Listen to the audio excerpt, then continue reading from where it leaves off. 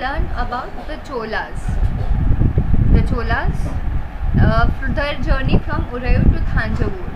We also learned that the successful uh, successors of Vijayalaya conquered the states of Pandyas and uh, Pallavas in the uh, south and in the north. Then the Rajaraj I was considered as the most powerful Chola ruler, became king in 985 and he expanded his control over most of these areas. He also reorganized the administration system. Then his son Raja uh, Rajendra I continued his policies and raided Ganga Valley, Sri Lanka and countries of Southeast Asia, developing a navy for these expeditions. Today we'll learn more about these dynasty, beginning with splendid temples and bronze sculpture. The big temples of Thanjavur and Ganga Konda, uh, Cholapuram, built by Rajaraj and Rajendra, are architectural and sculptural marvels. Uh, ये बहुत ज़्यादा famous temples है temple of Thanjavur and temple of Gangaikonda Cholapuram uh, जो राजाराज और राजेंद्र ने बनवाया था and till date it is considered as one of the best architectural models Chola temples often became the nuclei of settlement which grew around them. There were centers of craft production. Temples were also endowed with land by rulers as well as by others.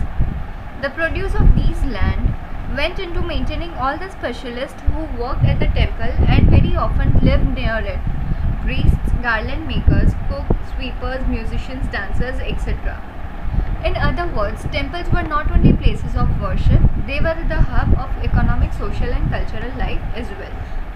uh, का जो temples थे वो not only temples but उनके आजू बाजू भी उनके आजू बाजू के एरियाज़ भी साथ में ग्रो होते थे।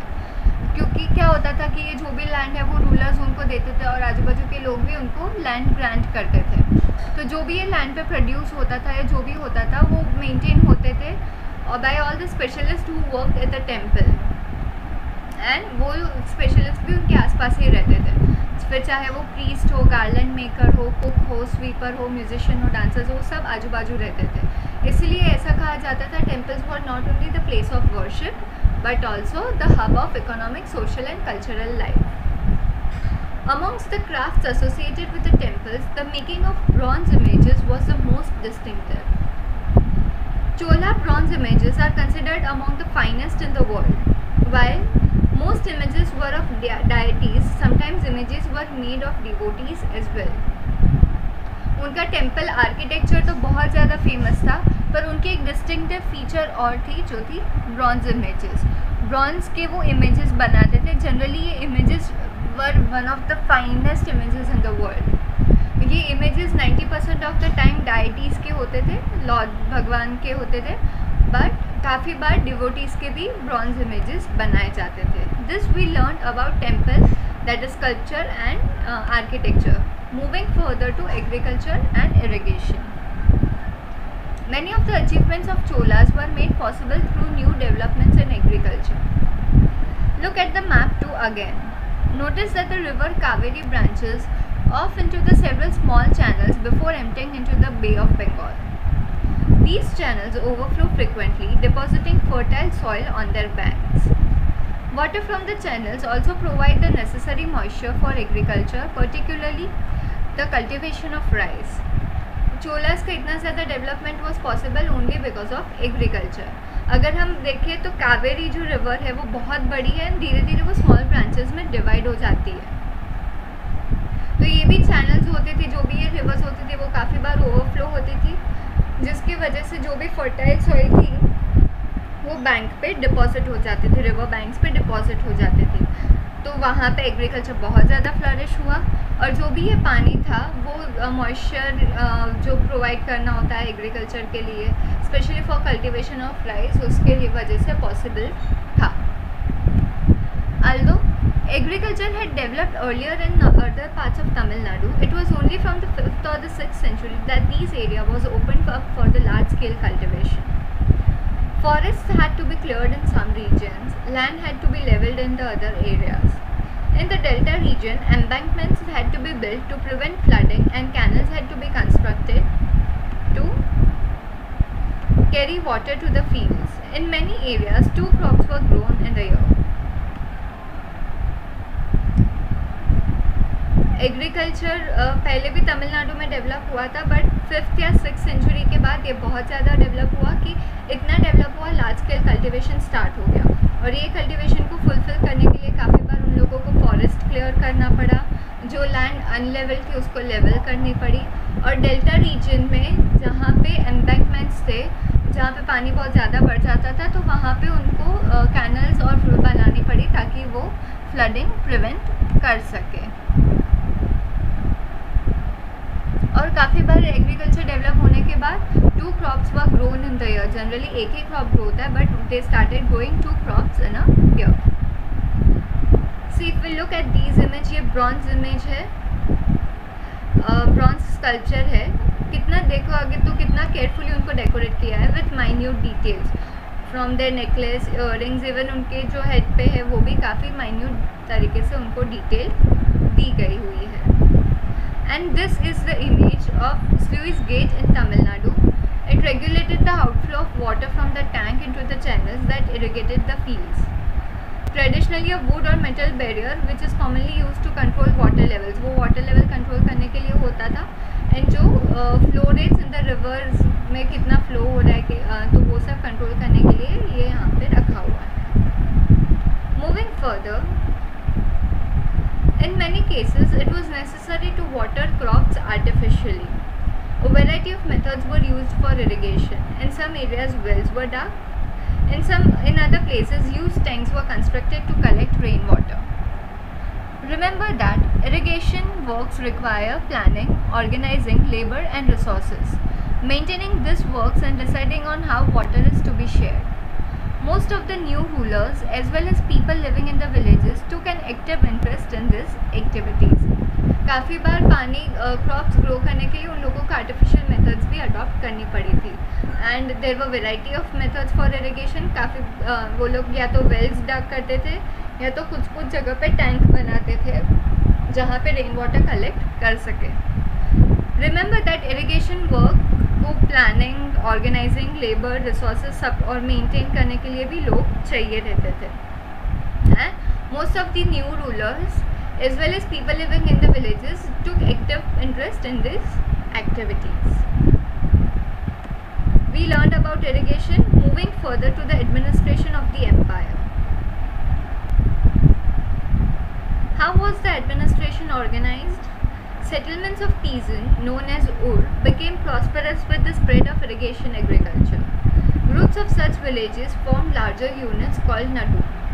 The village council and the Nadu performed several administrative functions including dispensing justice and collecting taxes.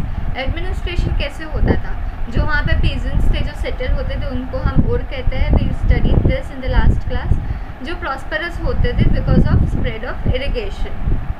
फिर ये सब का जो विलेजेस होता है, वो लार्जर यूनिट फॉर्म करते हैं that is called is nadu और जो विलेज काउंसिल होता है and this nadu they perform several administrative functions जैसे कि जस्टिस देना टैक्स कलेक्ट करना and rest of the things rich peasants of the Vellala caste exercise considerable control over the affairs of the nadu under the supervision of the central Chola government the Chola kings gave some rich land owners titles like moving the villain that is a villain or a peasant serving three kings or a year's chief etc markers as uh, markers of respect and entrusted them with the responsible important offices of the state at the center काफ़ी बार क्या होता था ये जो वेलावल caste के rich peasants थे वो नाडो के साथ कंट्रोल मतलब कंसिडरेबल कंट्रोल उन पर एक्सरसाइज करते थे बिकॉज़ दे वर रिच तो नाडो को उनकी काफ़ी सारी बातें सुननी पड़ती थी और ये सब सुपरविजन होता था सेंट्रल चोला गवर्नमेंट के अंदर। ना जो चोला किंग्स थे, उन्होंने क्या किया था कि ये जो रिच लैंड ओनर्स हैं ना, उनको टाइटल दिए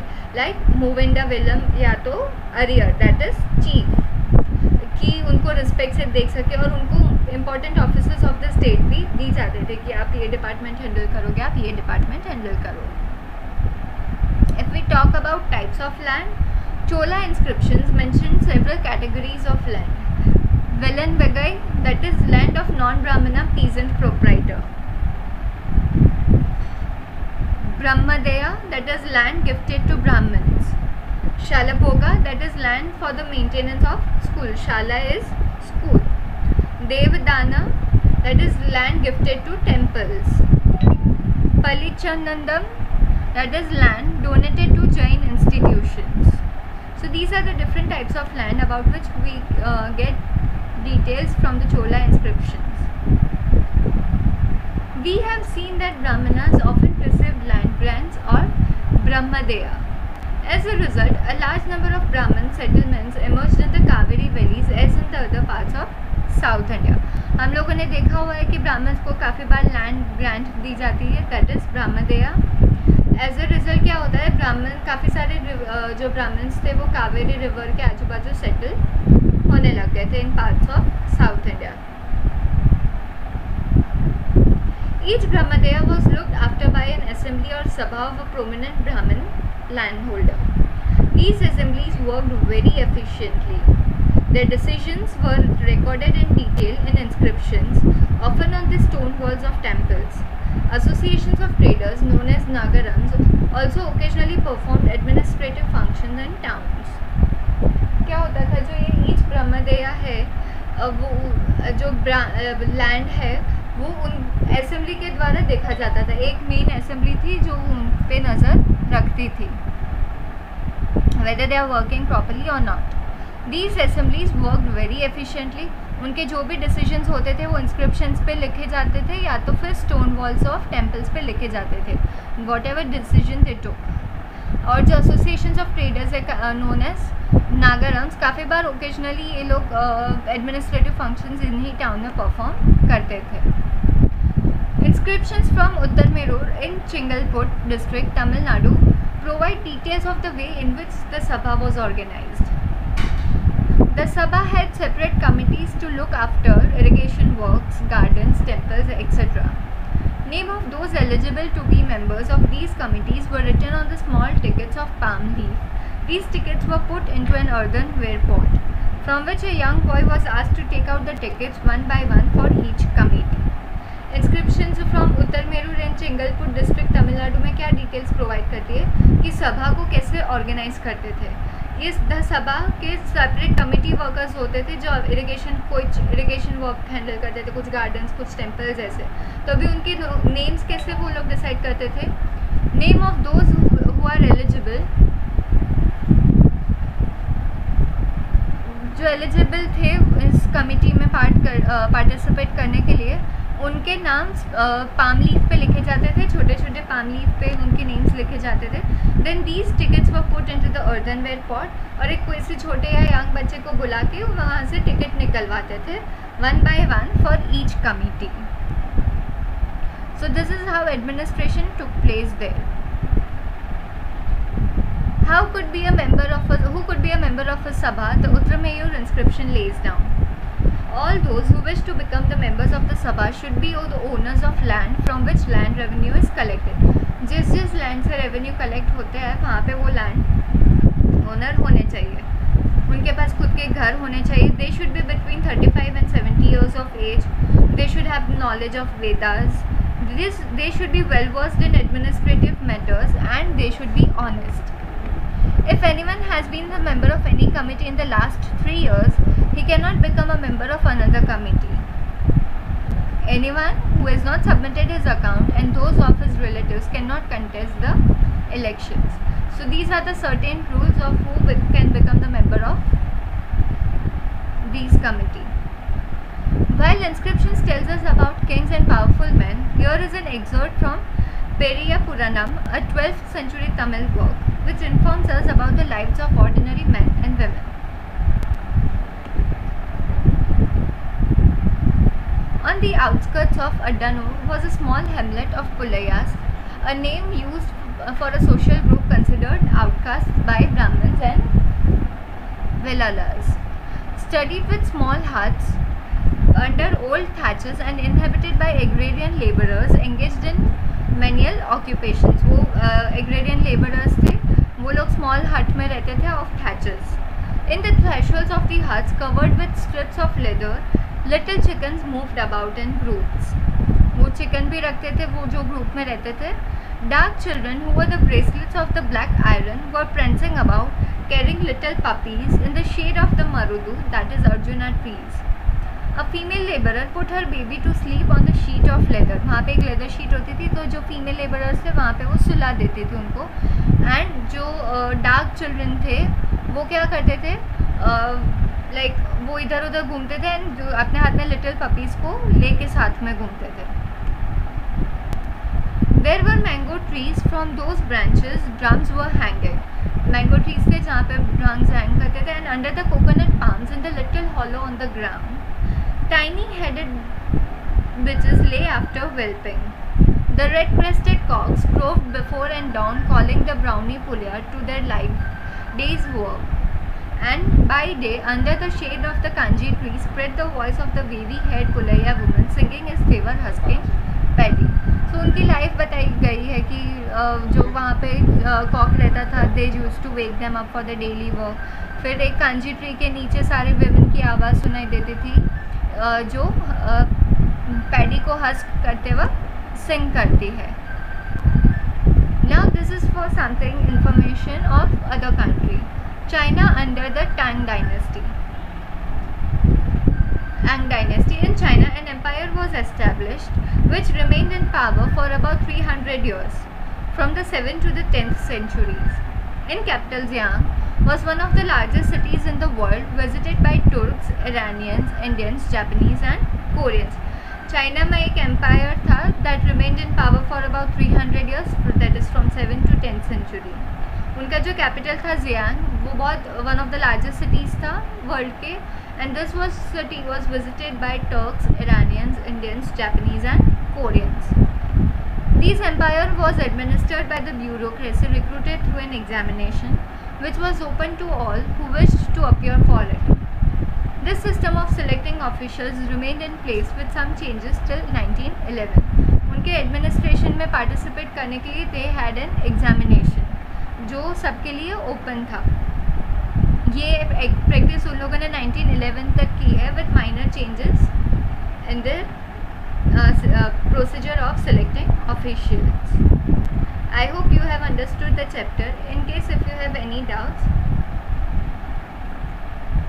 feel free to ask